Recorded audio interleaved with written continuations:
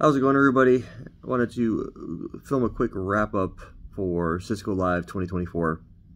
I didn't have a chance to do one um, before because of moving hotels. Uh, I'm still in Vegas. I'll be here till um, next week, but um, wanted to film a quick recap. So there's a couple of big takeaways from Cisco Live that I've got, and a lot of people have already um, covered this. So I'm probably going to reiterate some things that you've already have already seen. Um, number one, AI was huge in the world of solutions. They had what felt like a dedicated corner to the world of solutions for it, um, which I mean it's, it's all good. I mean I'm not going to hate on it. Um, I definitely think there is a, uh, place for it. Um, where exactly that's going to fit in, I, I think has yet to be seen. Um, there are some cool things that I saw. Um, there were, uh, I guess you could call them breakout sessions, but they weren't like upstairs um, like some of the normal sessions were. They were in the world of solutions.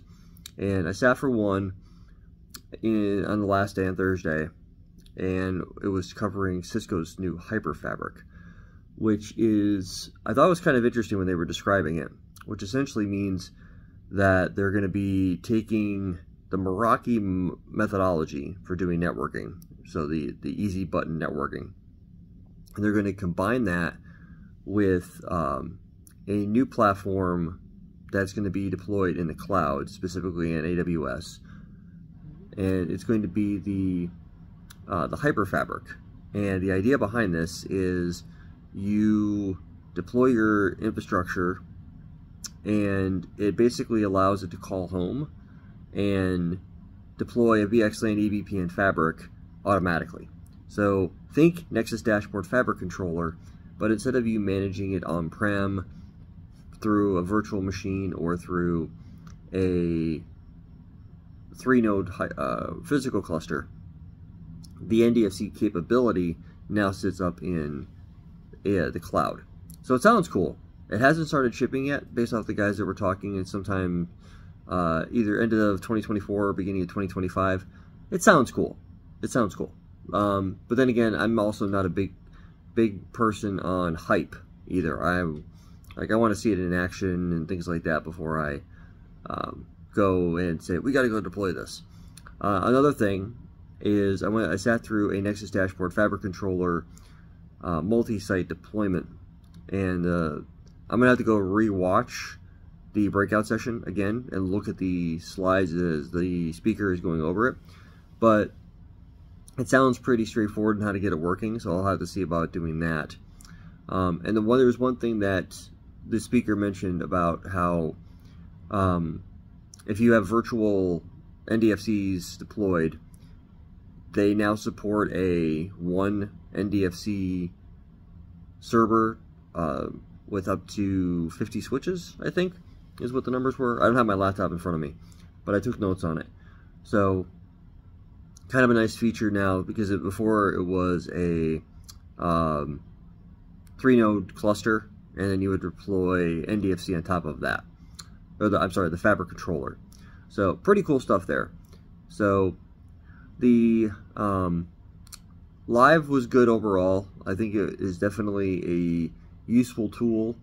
Um, I took advantage of the the in-person networking that comes with it, where you meet people. I met a bunch of a uh, bunch of y'all, uh, either uh, subscribers or viewers of my YouTube channel, or people that are connected with me on LinkedIn, stuff like that.